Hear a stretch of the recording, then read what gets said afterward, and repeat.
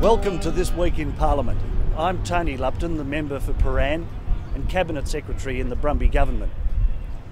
Much as this building takes its inspiration from an important civic building in England, many of the traditions and practices of our Parliament can also be traced to the British Parliament.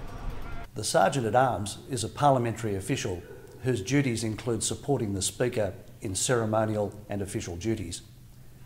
The position of Sergeant at Arms was created in England in the 14th century, originally as a bodyguard for the Speaker.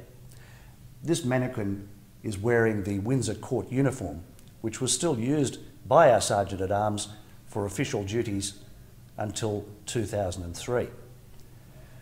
There's also a replica of the original mace used in our first Victorian Parliament in 1856.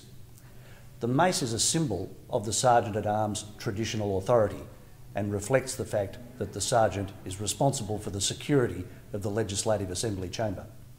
One really exciting thing that happened in the Assembly this week was the introduction of new laws to create river red gum national parks. This delivers on a key election commitment of the government to introduce legislation to protect the red gum forests of northern Victoria.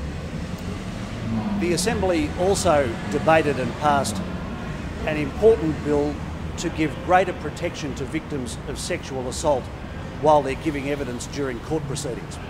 This week, the Legislative Council debated but failed to support the government's tough new laws on police discipline that had been sought by Victoria Police and the Office of Police Integrity. I hope you can join me again in November for the next Week in Parliament.